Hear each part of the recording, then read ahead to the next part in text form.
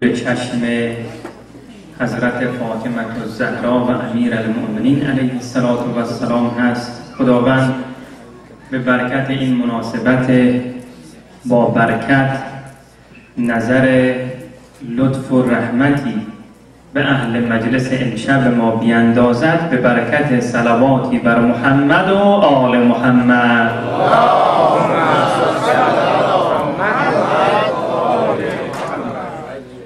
مجالس ها که شرکت میشه هر کس حاجتی داره و هیچ کس نمی‌خواد که دست خالی از مجلس نورانی آل الله برگرده. خدای مهربان انشالله این مجالس رو وسیله برآورده شدن حاجات دنیا و آخرت ما و شما قرار دهد.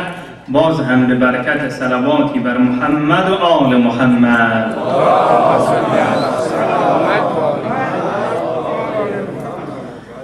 بسم الله الرحمن الرحیم. الحمد لله رب العالمین.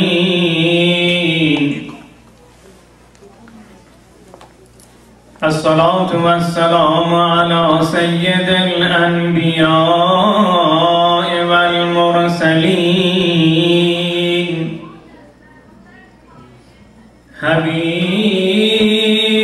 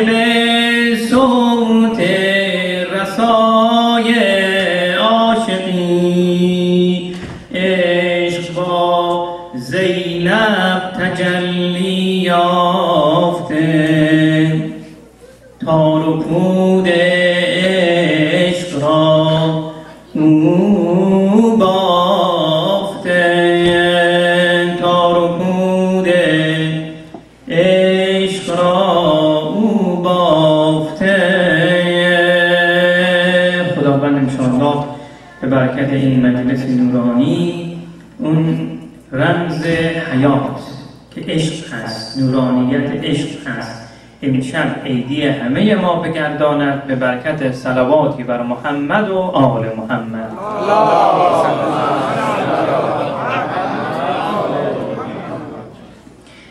First, I would like to give a short summary in English, then inshallah we'll start in Farsi. First of all, Alhamdulillah, we thank Allah subhanahu wa ta'ala that we have such a strong sisters among the community. We benefited from our sister Sayyida Zainab Khanum in Quran and also Sister Najati and also a very beneficial speech by Sister Maya. Alhamdulillah. Tonight I would like to mention some important points from the life of Hazrat Zainab Salawatullah alayha. However, the life of Hazrat Zainab alayhi salam is full of lessons. But according to our time, we mention inshallah three to four points of the important characteristic of Hazrat Fatih, Hazrat Zainab salawatullah alayha. One factor of Hazrat Zainab salawatullah alayha, brothers and sisters, is about her knowledge. When the name of Hazrat Zainab alayhi salam comes up, the first thing that comes psychologically with the name of Hazrat Zainab in our memory is regarding her bravery in Karbala, Ashura, and after Karbala. But let ask a question. How was the life of Hazrat Zainab before Ashura? Did we research about the characteristic of Hazrat Zainab sallallahu before the event of Karbala? One factor of Hazrat Zainab sallallahu before Karbala is her knowledge. She was a very knowledgeable person at her time. When she was six years old, she memorized all the speech of her mother Fatimah Zahra, Khutbah Fadak, about Fadak, and she used to recite Khutbah Fadak here and there completely, exactly the same that her mother delivered in masjid. How old? Six years old. And also, when they immigrant from Medina to Kufa, after one year, Hazrat Ali salatu wasalam, after one year of his immigration to Kufa, he established the government in Kufa. There are some reasons why he changed the government, the capital of Islam from Medina to Kufa. It has a long story. The people of Kufa, especially the women, came to Hazrat Ali alayhi salatu wasalam, Ya Ali, we hear that your daughter Zainab is very knowledgeable, especially in the interpretation of Quran and Tafsir. Can we request you, if your sister, uh, your daughter accepts our request to start a Tafsir of Quran, interpretation of Quran for us? Hazrat Zainab salawatullah accepted and for many years he used to teach tafsir of Quran, interpretation of Quran. The other factor of Hazrat Zainab salawatullah alayha, brothers and sisters, is that he, she was very close to Allah subhanahu wa ta'ala, even before Ashura not only wajibat but also mustahabbat. Every night Hazrat Zainab salawatullah alayha used to perform namaz shah, salatul layl.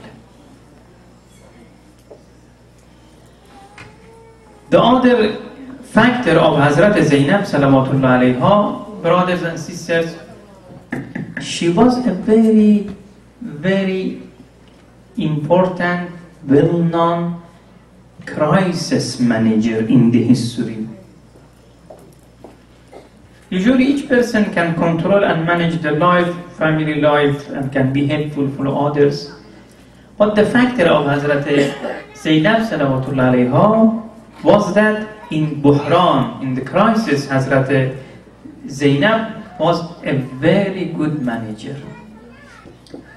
She passed five, six difficult stages, uh, stages in her life and in each difficulty she was not only part of the solution, she was the master of the solution.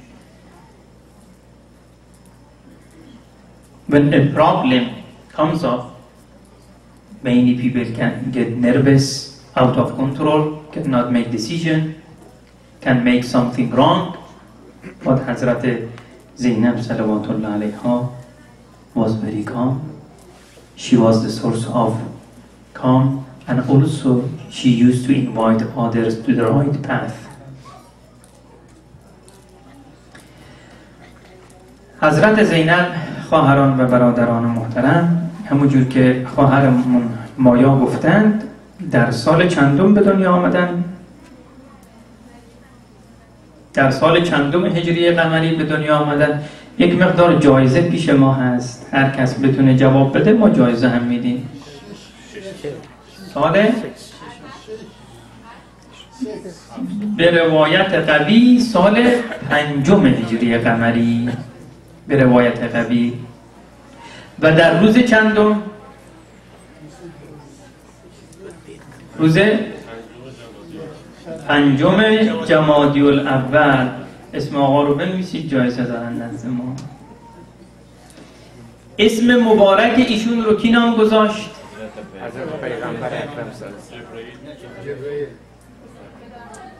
اختلف العلماء.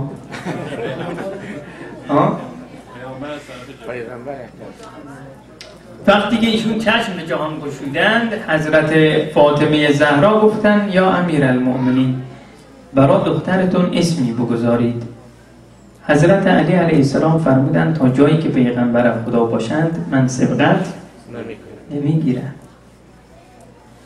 سم کردن پیغمبر مکرم اسلام صلی الله علیه و آله و سلم رو خواستن این بزرگوار تشریف آوردن منزلشون حضرت زینب رو در آغوش گرفتن به طرف زینب علیه السلام نگاه کردن و قطره اشکی از صورت مبارک از چشم مبارک پیغمبر خدا پایین آمد.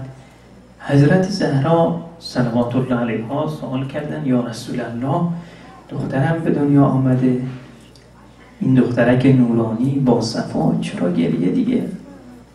فرمودن فاطمه جان این دختر بعد از مرگ من و تو خیلی مصیبت ها خواهد دید. مصیبت هایی که هیچ کس مثل اون ندیده. اشکن جهت اونه. و خواستن از آقا شما اسمی برای این دختر بگذارید. پیغمبر مکرم اسلام صلی الله علیه و آله و سلم فرمودن که خدا باید اسم رو تعیین بکنه. جبرئیل امین علیه السلام بر نبی مکرم اسلام نازل شد و نام زینب رو به حضرت آورد. حالا شما گفتید جبرئیل امین درسته؟ خب حالا به یک نفر دو تا جایزه هم ندیم آیا؟ بدیم؟ بدیم؟ خانوما گفتن. اسم شریفتون. شریف خانم هم گفتن شما هم گفتید بسیار خوب. اسم خودتون رو فرمودید شما. اسمت خانم بسیار خوب. حالا هنوز بقیه هم فرصت دارن ها جایزه هم الحمدلله با برکته حالا زینب یعنی چی؟ زینت بابا. زینت پدر. کی گفت زینت پدر؟ بله. کسانی که یک مرتبه جایزه گرفتن اونا دیگه باشه برای بقیه فرصت رو بدن. بله آج خانم. بله. زینت فرمودید احسنتون. اسم آج خانم رو بنویسید. دستتون رو ببرید بالا. خب آقا سید آقا سید مردان رو هم بنویسید. بله. دیگه چه معنایی از زینب می‌دونید پس معنای زینب شد یعنی زینت پدر. زینب یک معنای دیگری هم دارد می‌تونید بگید معنای دیگرش چیه؟ آقا سید سید آقا سید منور رو هم بنویسید. احسنتون ماشاءالله قرآن خوبی خوندن فرزند شما. ما تشکر می‌کنیم از همه شما خواهران برادران مخصوصا کسانی که در برگزاری این مجالس نورانی شرکت می‌کنن و کمک می‌کنن به برد و به هیئت مدیره همکاری می‌کنن که این مجالس اهل البیت علیهم السلام برگزار بشه. برای سلامتی خودتون برای سلامتی خانوادهتون برای سلامتی اعضای برد که همیشه کار می‌کنن ز سلواتی ختم فرمایید اللهم صل یک معنای دیگری هم زینب دارد چیه؟ بله؟ میگن مصیبت خانمان بله پس یک کمیشنی هم شما آقای سرمد میگیریدی بسن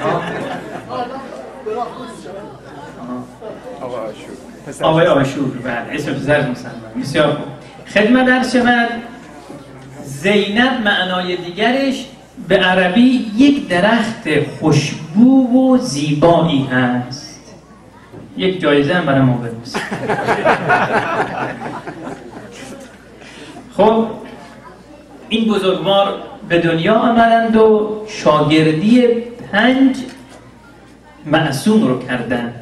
پیغمبر مکرم اسلام امیر المؤمنین پدرشون حضرت فاطمه زهرا امام حسن و امام حسین. و علم ایشون به حدی رسیده بود که در همون سنین نوجوانی و حتی آخره های کودکی ایشون قادر بودن که تفسیر قرآن رو بگن. شیخ صدوق رحمت الله علیه نقل می‌کنه امیر المؤمنین وارد منزل شدن دیدن دخترشون حضرت زینب مشغول قرائت قرآن هستن لذت بردن خوششون آمد. بعد به جهت اینکه متوجه معانی بکنن فرزند رو شروع کردن یک چند تا سوال از دخترشون پرسیدن. یک یک این سوال ها رو پرسیدن و دخترشون همه اونها رو جواب داد. سوالات قرآنی رو یک یک جواب داد و بعد اشاره ای کردن به دخترشون که زینب جان یک لینکی یک ربطی دادن این آیات قرآن رو که آخر عاقبت کار تو کربلا هست و اون دشواری هایی که هجده نفر از اقوام و برادران و پسرای تو رو جلوی تو سر می‌برن سراشون رو برای اون مصیبت ها رو اشاره کردن. حضرت زینب با اون خردسالی خودشون به پدر فرمودن پدر جان من اینها را می‌دانم. مادرم فاطمه زهرا قبلا اینها رو به من خبر داده بودن. حضرت زینب صلوات الله علیها علم خیلی زیادی داشتن. به طوری که تعبیر خواب که کار هر کس نیست ها. این دیگه از علومی نیست که توی کتاب ها پیدا بشه و بالاخره توی مدرسه ها دست بده علم تعبیر خواب رو حضرت زینب صلوات الله علیها از پدرشون امیر المؤمنین علیه السلام آموخته بودند. مردم در کوفه می آمدن خدمت بیبی بی برای اینکه خوابهای اونها رو تعبیر بکنن. یعنی خودش یک ارتباط الهی هست ها بعضی از دانشمندان یک دانشمند مصری هست از برادران اهل سنت ما هست. ایشون یک کتابی نوشته به زبان عربی در مقام حضرت زینب کبرا صلوات الله علیها و ایشون می‌گوید که حضرت زینب صلوات الله علیها دقت کنید علومی داشتن که اون علوم رو مردم معمولی نمی‌تونن داشته باشن. مردم مصر من مصر رفتم یک ارادت خاصی دارن به حضرت زینب. خیلی جالبه ها شافعی هستن اخلاص زیادی دارن به حضرت زینب. حتی قائل هستن که حضرت زینب در مصر دفن هستن. به زیارت این بیبی بی میرون حاجت می‌گیرن ما رو دعوت می‌کنن میگن شما بیاید اینجا به زیارت حضرت زینب سلامات الله علیها. ادی از دانشمندان و مورخین به جهت علم فراوان حضرت زینب صلوات الله علیها عقیده داشتن که به این بیبی بی الهام می شده است. الهام وحی نیست ها. وحی مال چیزی که مال پیغمبران هست. الهام او چیزی هست که مال بعد از سطح پیغمبران برای اولیاء خدا می‌رسد. مثلا برای حضرت مریم برای مادر حضرت موسی آیات قرآن هست که ما به مادر حضرت موسی امر کردیم که فرزند رو در رود نیل بیانداز. اینها الهام هست. و بسیاری از تاریخ نویس ها و دانشمندان می‌گویند که حضرت زینب صاحب اون الهام هم بودن. ارز کردیم که این بزرگوار به خواهش مردم کوفه که از پدرشون خواهش کرده بودن درس تفسیر قرآن می‌دادن. سبحان الله. وقتی من این احادیث رو مطالعه می‌کردم با خودم فکر می‌کردم که خدایا چقدر با صفا بوده از اون کلاس تفسیر قرآن حضرت زینب کبرا و چی چیزای نقصی رو تو اون درس می‌گفتم. چقدر انسان ساز بوده کلام بیبی. پر از عمل. عمل بیبی سبقت گرفته بر کلامش. دامن آلوده اگر خود همه حکمت گوید به سخن گفتن زیباش بدان به نشود. آن که پاکیزه رود گر بنشیند خاموش همه از سیرت زیباش نصیحت شنوند نکته مهمی که در زندگی حضرت میدرخشد این هست که حضرت وکیل امام زمان خودشون بودن. شاید حالا نشنیده باشید نه؟ دقیقا روز نهم آشورا روز نهم محرم امام حسین علیه السلام امام زمان حضرت زینب به ایشون وکالت دادن اجازه دادن که تو از الان تا اون زمانی که پسرم امام زین العابدین خوب می شود شما مسئولیت اداره مذهبی امت رو دارید چندی پیش در جلسه های دعای توسل بحثی درباره وکالت بود و درباره اجازه بود که قسمتی از مدیریت مذهبی اهل بیت علیهم السلام هست. حالا شما ببینید امام حسین علیه السلام به خواهرشون حضرت زینب وکالت دادن. یعنی تمام این دوران اسارت و تو بعد از اینکه برمیگردن مدینه منوره تا زمانی که امام سجاد از بیماریشون خوب می‌شوند کی هست که راهنما و رهبر هست؟ بگید حضرت زینب. این وظیفه خطیر رهبری امت اسلام رو داشتن حالا که مردم کم استفاده کردن یا زیاد استفاده کردن او حرف دیگری هست. خوب دقت کنید. برادر. ای که ممکنه در او زمان بیبی بی رو به اسارت بردن. او حرف دیگری است. حضرت موسی بن جعفر علیه السلام امام تمام عالمند اما در زندان سندی ابن شاهد شکنجه می شوند. مردم از ایشون دورن. قطع کردن دسترسی رو. او بحث دیگه ای هست خب حضرت زینب صلوات الله علیها مقام علمیشون اونقدر بالا می شود بالا می رود که یک حدیثی رو این رو یاد بگیرید. نقل بکنید در مجالستون. امام سجاد علیه السلام به امشون اینطور میفرمایند. خوب دقت کنید به این حدیث. میفرمایند یا عمتا بحمد الله انت عالمتون غیر متعلمه و فهیمتون غیر فهیق. و فهیمتون غیر مفهمه. ام جان دقت کنید این کلام یک امام است. امام معصوم این جمله رو داره خطاب به یک انسان می‌گوید. ام جان الحمدلله که شما عالمه ای هستید درس نخوانده. و فهیمه و دانشمندی هستید بدون معلم. نگار من که به مکتب نرفت و خط ننوشت به قمزه مسئله آموز صد مدرس شد. جمله امامه. جمله امام حجته.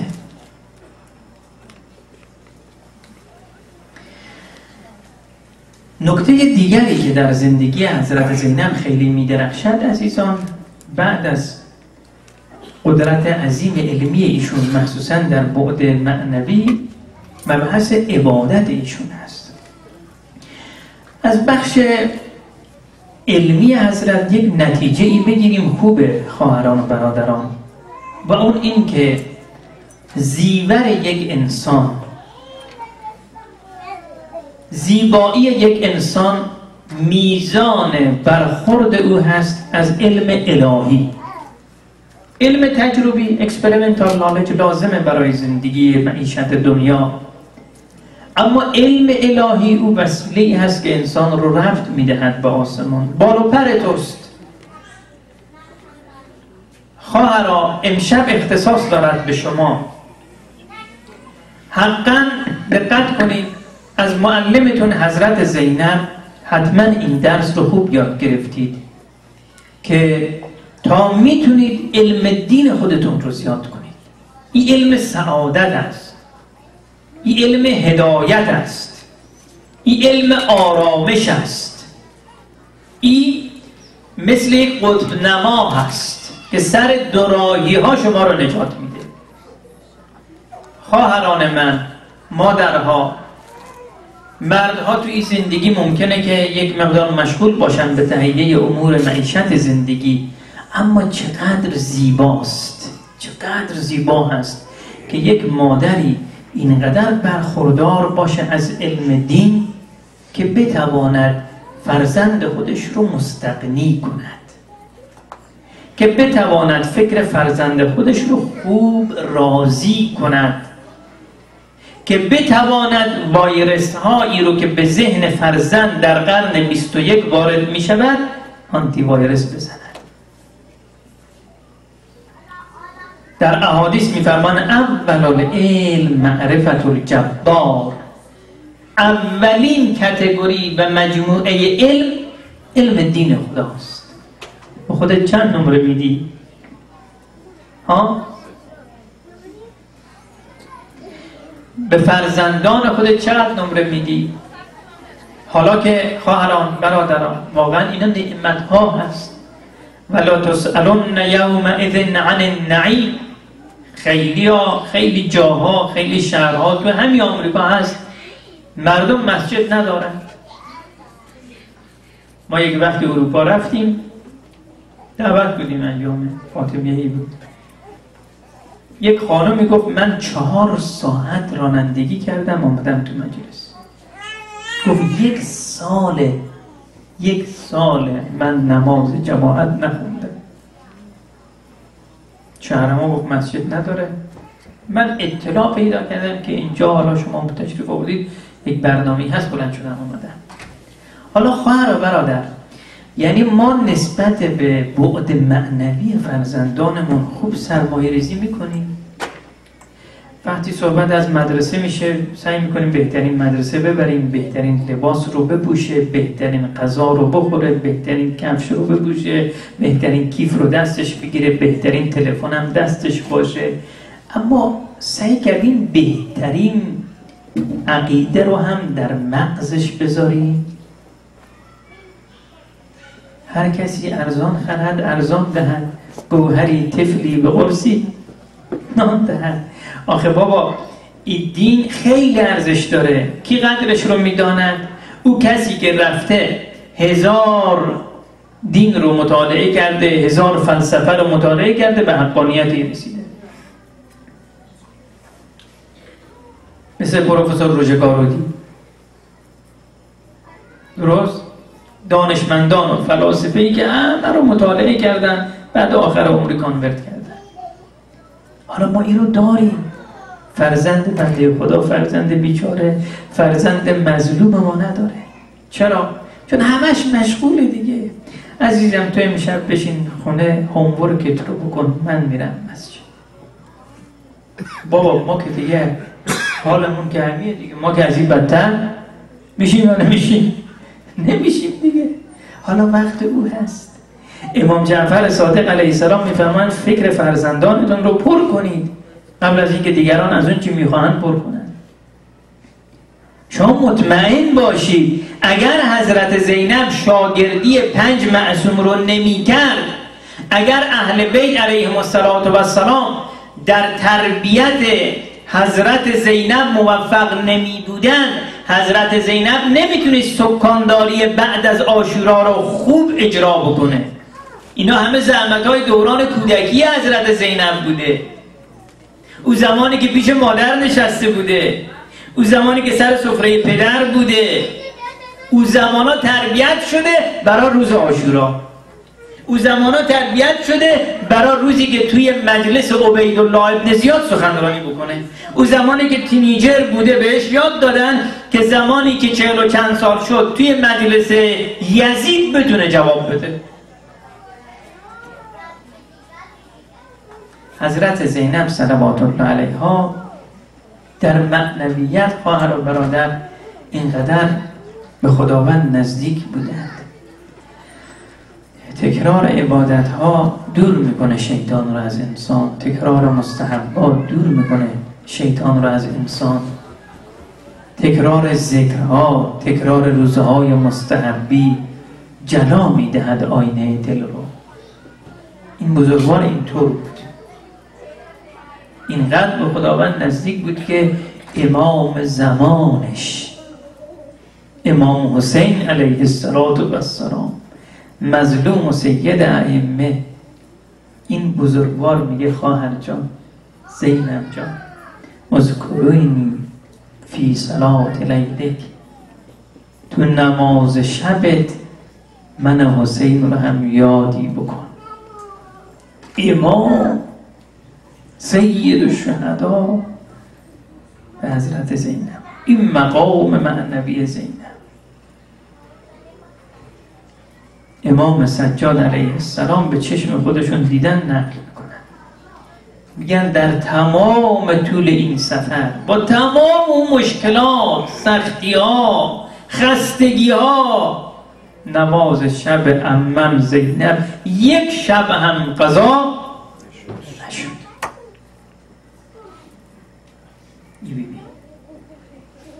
بعضی شما حتما شنیدید که حضرت زینب رو محمد به محمد اسیری می بردن من امشب یه چیزی بهتون بگم از سال را نشنیده باشید. اینطور نبوده همیشه.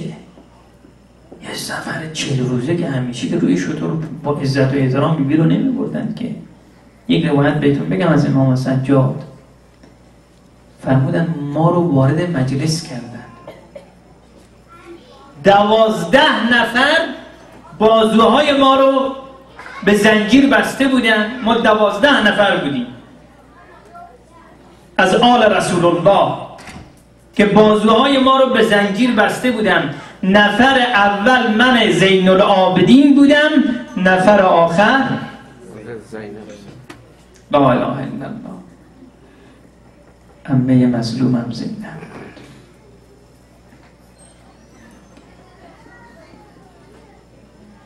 کمال میل آمد حضرت بعضیا از دین قسمت مفتش رو بر میدارن قسمت خرجدارش رو هم می‌ذارن کنار میگن ما رو نمی‌خوایم. اینا نیست اینا من در آوردیه نعوذ بالله. آخر زمان شده دیگه. وقتی که داشت کاروان امام حسین از مدینه خارج می‌شد عبدالله ابن عباس آمد. آقا جان پسرمو جان. حالا شما داریم میری کربلا خب ما بزرگیم ما علم داریم ما تجربه داریم ما فکر داریم ما دیانت داریم ما درایت داریم ما می‌دونیم. آقا داری میری پیروز نمیشی ها؟ به حرف ما بکن. یا نرو. یا اگر میری این زنا رو با خودت نبر. خطر داره. حضرت زینب صلوات الله علیها این پرده محمل شطور رو کنار زدن. گفتن پسر عباس می‌خوای بین من و برادرم جدایی بیاندازی لا اله الا الله. تو مو می‌بینی و من پیچش مو. تو ابرو من اشارت های ابرو. در معرکه دکون فتح از عشق است. گرچه یاران او شهیدن همه. عبدالله ابن عباس هم راوی قرآن بود. ولی او یه گوی آینه رو می‌بینه. بیبی چیزهای دیگه ای رو می‌بینه که او نمی‌بینه. جهد کن تا ویر عقل و دین شوی تا چو عقل کل تو باطن بین شوی. با میل خودش بیبی رفت. و نکته مهم و زیبا در زندگی این بیبی استحکامش بود. خواهر و برادر. یک خصوصیت مهم که واقعا میدرخشه در زندگی بیبی اینه که بیبی واقعا part of the solution. سرچشمه حل مشکلات بود بیبی. تو واقعه آشورا خواهر و برادر ما حالا یه چیزی میگیم دیگه. من از تحریر این غم ناتوانم. که تحریرش زده آتش به جانم. تو را طاقت نباشد از شنیدن. شنیدن کی بود ماننده بابا روز آشورا خوب دقت کن خواهر. برادر تو خودت اونجا قرار بده. روز آشورا اون مشکلاتی رو که بیبی متحمل شده. برادرانش رو فرزندانش سر بریدن قلقم کردن زخمی مجروح جنازه ها افتاده. تو او زمان بیبی دست باشه نیست. هیچ کس اون موقع نمی‌تونه خودش رو کنترل کنه. هیچ کس. یه آدم عادی. اما شاگرد فاطمت و زهرا هست که می‌تونه اینا رو جمع جور کنه. می‌تونه به اینا سامان بده. نه تنها اونجا. بعد شهادت از اول شروع شدی خانم. بعد شهادت مادر جوانشون. 18 ساله حالا به روایت اکثر بگید. مادر 21 سالشون که به شهادت رسیدن او زندگی او بچه ها او خانواده همه افتاد روی شانه المؤمنین که مرد زندگی و حاکم و والی بودن که مشغول بودن. اما این زینب بود که داخل خونه رو داشت مدیریت می‌کرد. یه چند وقت نگذشت جنازه خونین پدرش رو از مسجد روی پله دری آوردن براش. باز مدیریت کرد. یه چندی دیگه ای نگذشت که اون کاسه رو اوورد جلوی برادرش امام حسن مشتبا که پاره های جگرش بیرون می اومد اونم سامان داد. یه چندی نگذشت حسینش رو که همه تون عباسش رو پسرانش رو. او نفر. خواهر برادر. خب حالا امشب شب میلاده. ما نمی‌خوایم که مجلس امگین بشه. می‌خوایم شاد باشه مجلس. اما یه درسی که می‌خوایم از اینجا بگیریم اینه که یعنی حالا یک مقدار عمده از زندگی همون گذشته و یک مقدارش هم مونده. حالا چقدر مونده خدا می‌دونه یا کم یا زیاد. بیایم امشب تصمیم بگیریم که ما هم قسمتی پارت آف سلوشن باشیم همیشه. ما محور خیر و برکت و خدمت باشیم. یعنی هم مردها هم زنها. درست امشب اختصاص داره به خواهرها اما برادرها هم باید اینطور باشن. برادرها هم سعی بکنن که در زندگی مشکل که ایجاد میشه گرفتاری ایجاد میشه حلش بکنن اصلا خود طبیعت زندگی استرس آوره. شما می‌دونید که همچین که زمان میگذرد یک عده بیماری ها از بین میره یک عده بیماری های تازه در دنیا پخش میشه. یک وقتی بود مردم از تاون از بین می‌رفتن. اون حالا. یک وقتی بود مردم دسته دسته از وبا از بین می‌رفتن. این مرض ها جمع شده. حالا مرض های دیگه ای اومده. یکی از مرض های رایج زندگی مدرن چیه؟ استرس استرس درسته؟ استرس سرچشمه خیلی دیگر از مریضی ها میشه حالا دوستان اسم مریضی دیگری رو گفتن به جمع رفتی نداشت بله. مریضی استرس الان سرچشمه مریضی های دیگر هم هست استرس خواهر و برادر اونهایی که اهل علم هستن ماشاءالله چهرهای اهل علم رو زیاد می‌بینم در مجلس. اونهایی که اهل علمن می‌دونن که این خودش سرچشمه بیماری های معدوی میشه معده دستگاه گوارشی. سرچشمه خیلی از بیماری های دیگر جسمی میشه در حالی که خودش یک بیماری چیه؟ روحی و روانی است. قبلا مشکل استرس نبود ها. مردم مثلا 80 90 سال قبل رو نگاه کنید زندگی پدر بزرگاتون مادر بزرگاتون رو ببینید. یک سفره ساده پنگ می‌کردن یا آب گوشتی بود و ده تا دختر بچه هم همین فرزندان میشستن و همون آب گوشته رو با هم دیگه می‌خورن. آب گوشتم که نبود. آب گوشت بود. همون با هم میخوردن. خوش و خوشحال بودن. درسته؟ استرسی نبود دیگه. اما امروزه این استرس زیاد شده. مواظب این خطره باشید ها. زن و شوهرها باید با هم خوب کوآپریشن کنن همکاری کنن. به بحانه های مختلفی سعی بکنید که استرس ها رو کم بکنید. مردها هم همچنین سعی بکنن در مناسبت حالا مثلا ایام روز زن فردا یک شنبه دیگه درسته؟ به خاطر حضرت زینب آقایون برن یک جای یک کادوی چیزی بگیرن. اونو ببرن خوبه نه؟ ها؟ پیدا میشه بعضی جا بازه. یک روز زنی بود یک آقایی به جایی که گفت بگیره یه هدیه به خانمش بیاره آمد که بالاخره خورده روشم بپوشونه گفت خانم دوست داشتی که مرد می بودی؟ گفت نه اما دوست داشتم که تو مرد می بودی حالا این هدیه ها گرچه که کم هست ممکنه یه چند دلاری باشه اما پر از محبت چرخه زندگی استرس داره. این باعث میشه که محبت ها زیاد بشه. او استرس ها رو کم بکنه. عشق زیاد میشه تو خانواده. اون فشار و ضرب پذیری استرس کم میشه. خانوما هم به همین شکل گاهی اوقات سعی بکنن که انشالله حالا همیشه اختصاص داره به خواهرها.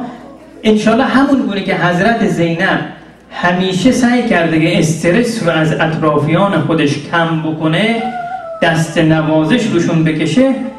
مادرها خانم ها هم انشالله کوشش بکنن که این نقش مهم رو ایفا کنن. من با یک آیه قرآن بحث امشب رو تمام می‌کنم. خدای مهربان میفرماید که و من آیاته ان خلق لکم من انفسکم ازواجا لتسکنوا الیها. خواهر و برادر اگر شما سوال کردن مهمترین وظیفه یک زن چیه؟ بگید دادن آرامش به شوهر. آیه قرآنه؟ لتسکنوا الیها و جعل بینکم مودتا و رحمه مهمترین وظیفه. مرد هر روز کار می‌کنه. شما چی می‌دید تو محل کار چقدر مشکل دیده استرس دیده؟ همه اینا رو که نمیاد توی خونه با شما شیر بکنه. اما شب که میاد خانه خوبه که این خانم یه خورده هواشو داشته باشه دیگه. آه؟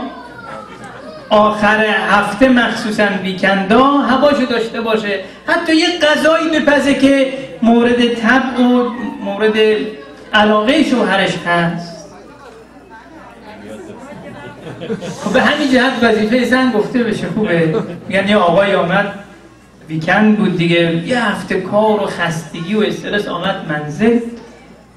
گفت که خب خانم چی داریم گرسنم بود بیشاره گفت تخم مرغ.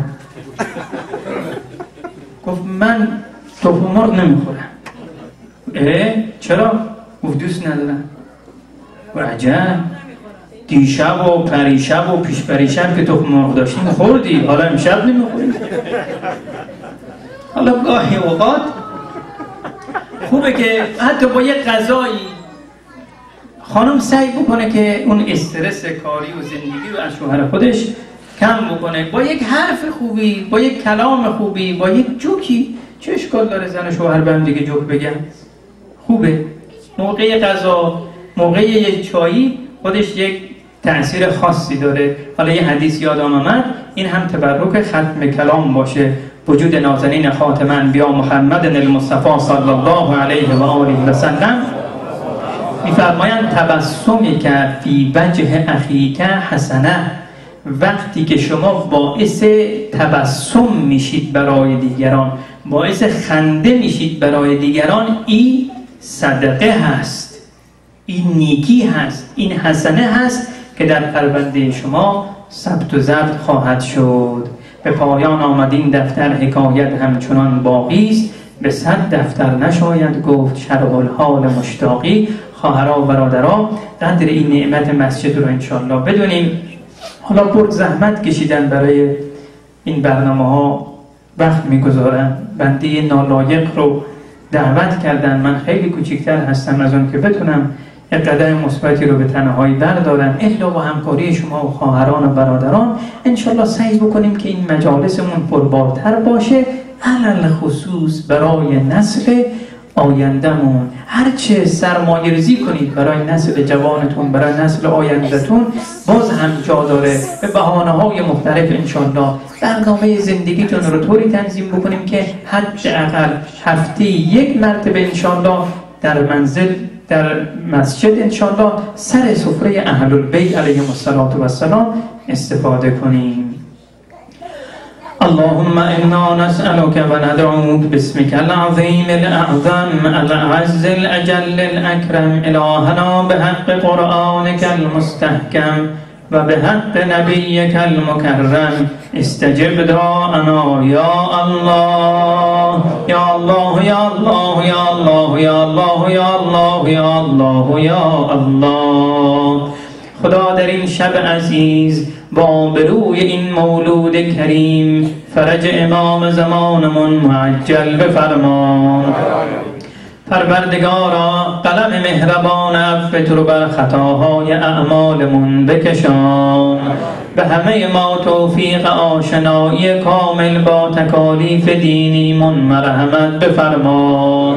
خدایا وجود ما رو وجودی پر از خیر و برکت برای خانواده برای مفید محیط مفید قرار بده. مریضان اسلام ملتمسین دعا شفای کامل و عاجل مرحمت بفرما. خدا به همه ما توفیق تربیت نسلی شایسته مرحمت بفرما. پروردگارا عاقبت امر همه ما ختم به خیر بفرما.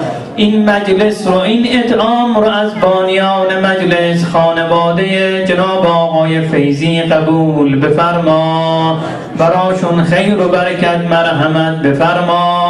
اموات جمع حاضرین بانیان خیر غریق دریای رحمت بفرما. رحم الله لمن یقرأ الفاتحه مع الصلوات.